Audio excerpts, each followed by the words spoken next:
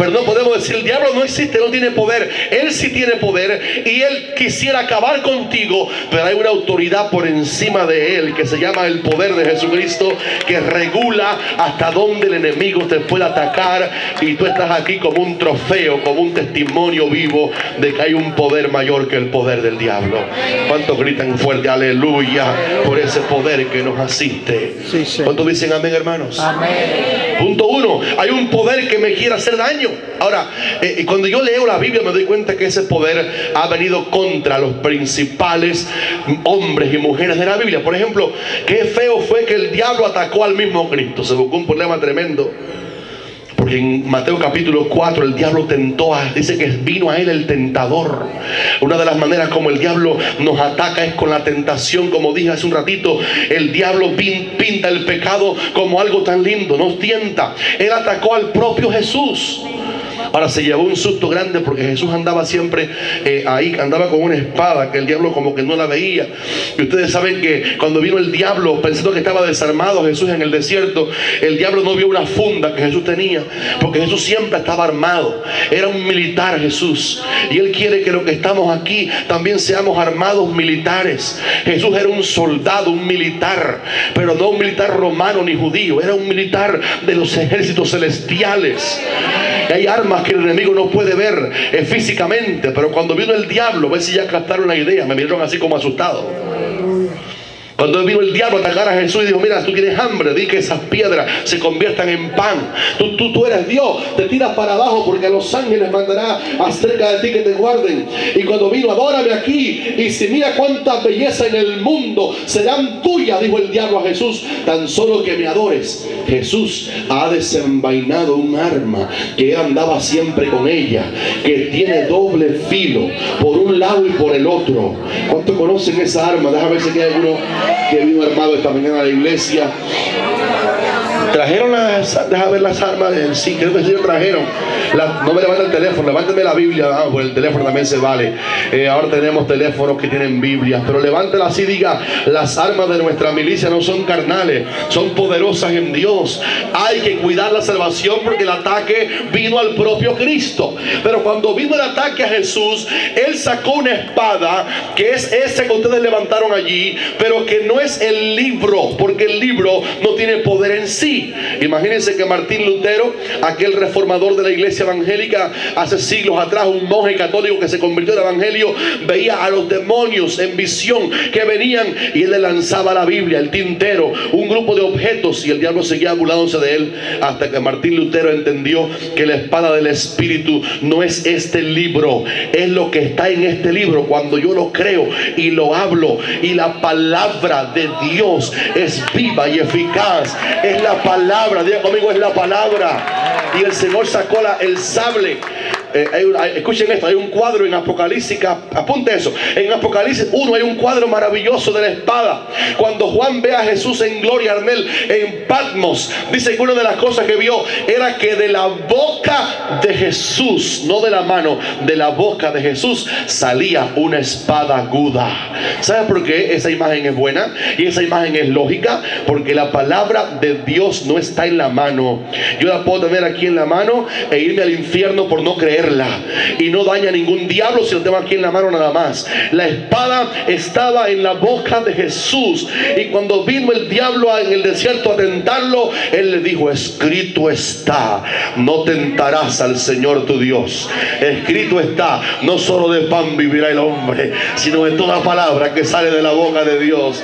Escrito está, al Señor tu Dios adorará y a Él solo servirá. cuando dicen aleluya? Eso es bueno. Aprenda versículos de memoria para cuando venga el diablito feo, usted le abra la boca y diga, sin santidad nadie verá al Señor. Todo lo puedo en Cristo que me fortalece. No moriré, sino que viviré. Yo sé que mis pecados han sido perdonados. Yo tengo la corona de la vida. No voy al, al infierno, sino al cielo. Yo tengo herencia. Mi nombre está escrito. Y decir versículos de la Biblia en la boca son una espada que entra al enemigo. Porque la espada es la palabra de Dios escrita creída y dicha en nuestra boca. ¿Por qué no decimos aleluya? Atacó a Jesús, pero Jesús lo venció. Después atacó un hombre que era miembro de la iglesia de Jerusalén y lo venció, llamado Ananías y Zafira, él y la esposa, los dos. Y vinieron ellos tentados por el diablo y trajeron una parte del dinero diciendo que era todo. Y siempre explico esto. Nadie les pidió que vendieran la finca, la herencia, pero ellos quisieron lucirse y trajeron una parte del dinero de la herencia, imitando a los que traían todo. mira, Pedro, este que tenemos aquí es todo el dinero con que vendimos la finca nuestra y esto todo es lo que se vendió y lo dedicamos al Señor. Y Pedro le dijo en Hechos capítulo 5, versículo 3, Ananías, ¿por qué llenó Satanás tu corazón para que mintieses al Espíritu? Santo. Entiendan esto, hermano. Ananías era cristiano, era un lavado con la sangre de Cristo, era miembro de la iglesia, pero Satanás llenó su corazón y lo hizo un mentiroso al Espíritu Santo. Y yo quiero esta mañana decirle que el diablo no tendrá cabida en nuestro corazón para que mintamos. Compra la verdad y no la vendas. Hable siempre la verdad aunque le cueste la guillotina. Pero diga siempre la verdad porque lo que te va a llevar al cielo es la verdad. Conoceréis la verdad y la verdad os hará libre. ¿Cuántos dicen amén, hermanos? Si eso le pasó a Jesús y Jesús venció. Y Ananías fue atacado y mintió y ambos murieron por juicio. Yo declaro con la mano derecha alzada que a ti no te va a pasar eso nunca. Aunque tú y yo también estamos bajo el ataque del diablo. ¿Sabes que Pablo, el escritor de la Biblia, de una buena parte de la Biblia, Pablo decía, hermanos, yo temo, escuchen esto, yo temo que como la serpiente con su astucia engañó a Eva, vuestros sentidos también sean de alguna manera desviados de la sincera fidelidad a Cristo. Mira el tema, una vez salvo, siempre ten cuidado. Pablo dice, yo tengo miedo que la serpiente que allá en el jardín dañó a Eva, a ustedes también lo dañe, a mí también me dañe. Hay un acoso del enemigo, pero en el nombre del Señor, Él no te va a vencer. Tú estás en Cristo, estás en la palabra, estás en una iglesia buena que te predica la verdad, que te ama y te predica la razón de Dios. ¿Cuántos dicen amén, hermanos? Los demonios están organizados jerárquicamente. Tenemos lucha, Efesios 6 lo dice, el 6.12 de Efesios contra principados, potestades, gobernadores de las tinieblas de este siglo, huestes espirituales de maldad en las regiones celestes. Y el título que tiene el diablo ya dice bastante de cómo se levanta contra ti. Él se llama en primera de Pedro 5:8 vuestro adversario el diablo. ¿Cuántos aquí sienten una fricción contra la fe? Una fricción contra el ayuno. Diga contra el ayuno, amén.